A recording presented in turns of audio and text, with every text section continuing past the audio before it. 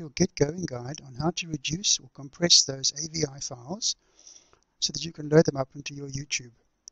So the very first thing we'll look at over here, this is a demo file which I have running and now I need to upload it. You can see its size is 80 meg and let's have a look at that video just for a moment. You can see here. So what am I going to do to this file to reduce its size? Well, what I use there's a product and it's called on my Google, I literally check it out for you, and it's called Handbrake.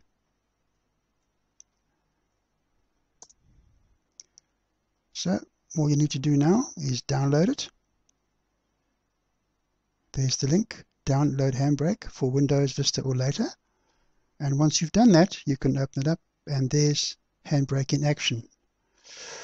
Right, what you have to do is you go and get out that source file.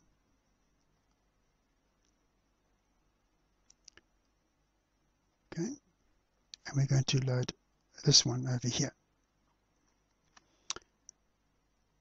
It's going to be output as an MP4 and we want to have it web optimized.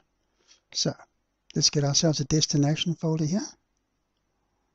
Maybe the same place and we can call it upload.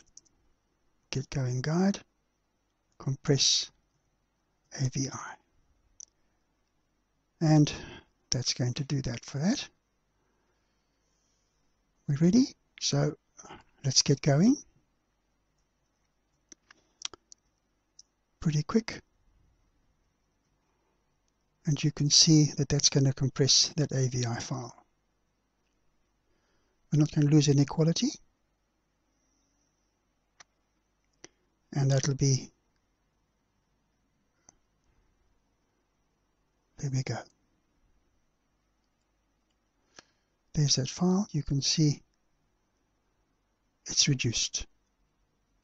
Have a look at it.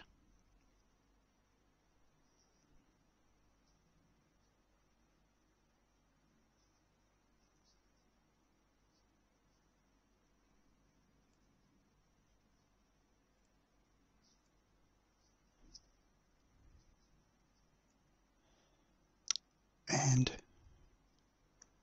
compressed. So there we have it. Enjoy.